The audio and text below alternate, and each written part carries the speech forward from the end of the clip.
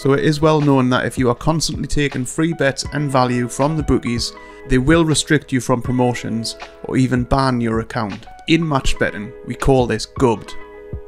Although you can still make money from other strategies on restricted accounts, you will no longer be able to profit from free bet offers. Now there is no way of knowing if or when this will happen. So in this video I'm going to show you what you can do to keep your accounts healthy and keep rinsing them for free bets and bonuses for much longer.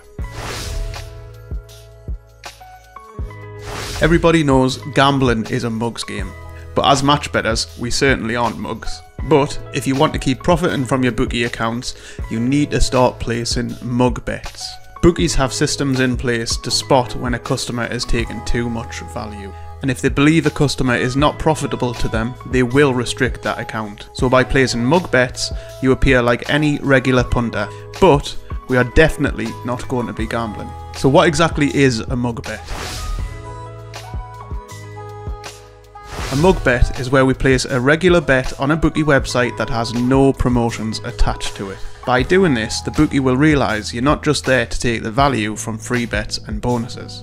But remember, in match betting, whenever we place a bet on something to win, we always use a betting exchange to place a bet on the same thing not to win. So yes, you will lose around about 25 to 30 pence for every £10 mug bet, unless this happens.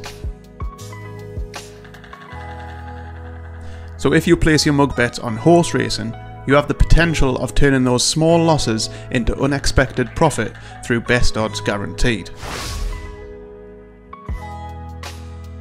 The best odds guaranteed is an offer from most bookies where if you place a bet on a horse at a particular price, let's say 6.0, and that horse goes on to win at a bigger price, say 9.0, they will pay you at the bigger price. So for example, you've placed a mug bet on a horse at 6.0 and you've placed your lay bet on the exchange at 6.2.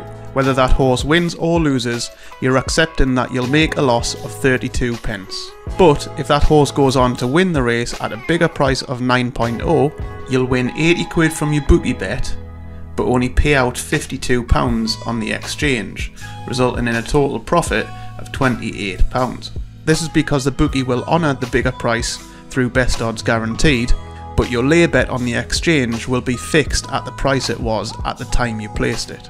And remember, you don't need to know a thing about horse racing to be able to do this. Simply place your mug bet with the bookie and place your lay bet on the betting exchange and forget about it. You can use the odds matcher on the Outplayed website to find your mug bets. Now this isn't going to guarantee that you won't receive the dreaded gubbing email, but by placing regular mug bets, you'll give yourself a better chance of keeping your accounts alive for much longer.